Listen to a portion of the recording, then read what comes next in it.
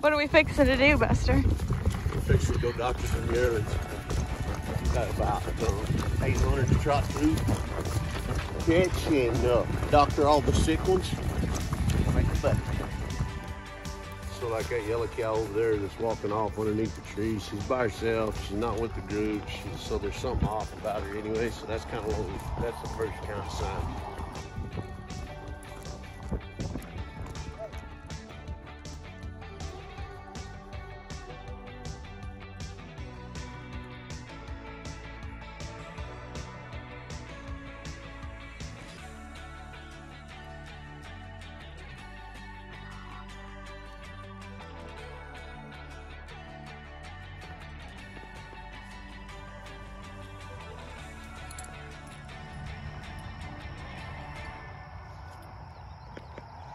Medicine will start working in about eight to 10 hours. And it's, uh, it'll, it'll kind of last 48 hours or so. Some medicine's a little different, but you know, six, seven hours, they'll go to feeling a little better.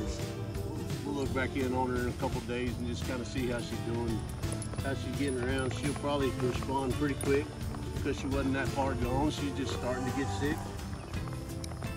So, you know, with the antibiotics that we gave her, pain reliever, fever reducer, she'll be up and on her way. Give her about 48 hours and she'll be a totally new heifer. You know, what?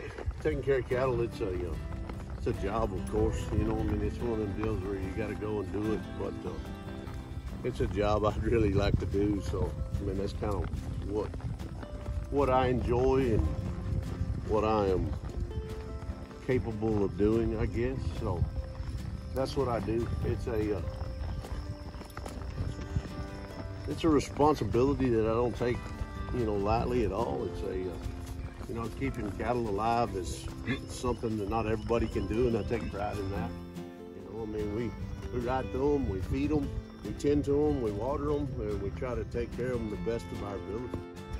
So that's kind of what I think about taking care of cattle and being a cowboy. Are you proud to be a cowboy? Yes, ma'am. I am proud to be a cowboy. It's, uh, you know, they say it's a dying breed. They've been saying that for 150 years. We're still here. There's things that, you know, that we do that machines will not ever replace. And I don't think you'll ever replace the cowboy. I mean, yeah, trends and, you know, techniques and materials and they get better. And so right along with that, we get better at our job. And, uh, you know, but you're not ever going to replace the cowboy. You're not ever going to replace the horse. There's places this horse can go and do maneuver that a four-wheeler, UTV, ATV, dirt bike, vehicle, they, they can't do, you know, and so this horse reads cattle just like I read cattle and a machine or a robot or, you know, anything like that, just, they won't, they won't ever take our place. They might improve upon it, but they will never take our place.